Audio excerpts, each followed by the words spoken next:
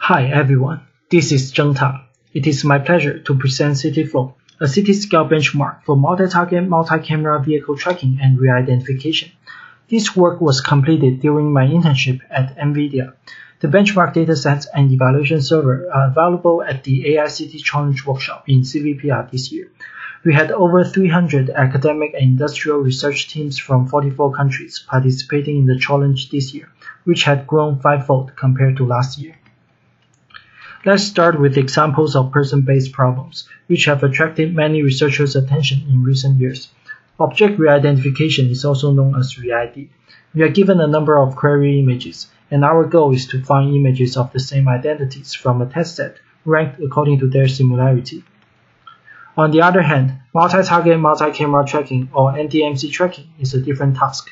The original videos and camera topology are provided so that spatial temporal information can be leveraged for identity association. Different from the person-based scenario, vehicle-based problems are considered more challenging.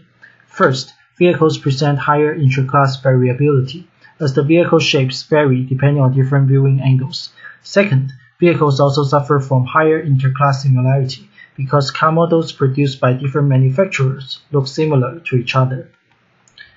In summary, image-based ReID is one of the three main components of MTMC tracking.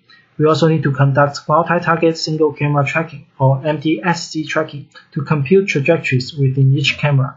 Besides, spatial temporal information between cameras can be utilized for the association of trajectories. There have been many large-scale benchmarks for person-based ReID and MTMC tracking, which turbocharged related research in this area. In comparison, only few benchmarks are available for the equally important vehicle-based problems.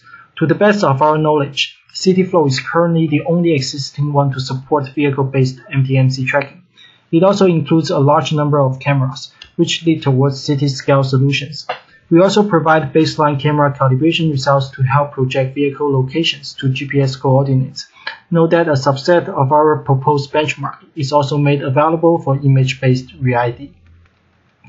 Now you can see a more detailed overview of the CityFlow benchmark.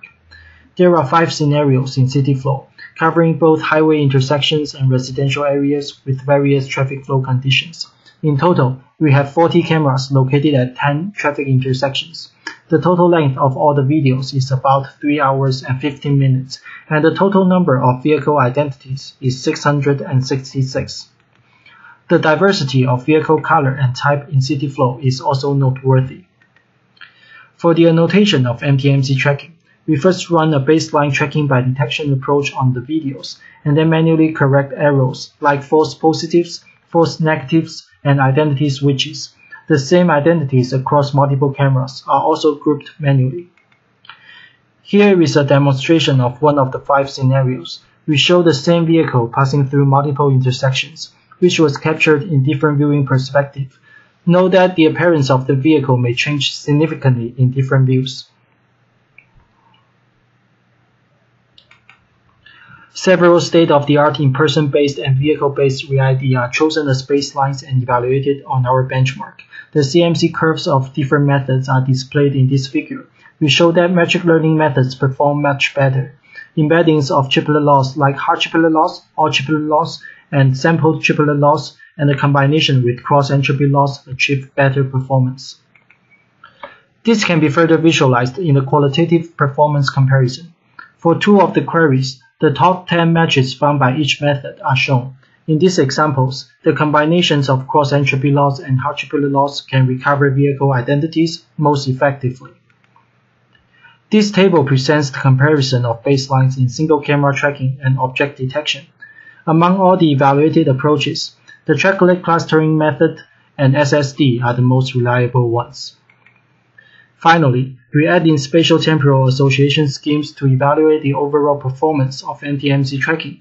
The manually set transition time distributions lead to high accuracy, but the transition time can also be learned reliably using Gaussian distributions. Thank you for listening. The benchmark datasets and evaluation server have been made available at the AI City Challenge workshop. To learn more details about the benchmark and the challenge this year, please check us out at the poster session.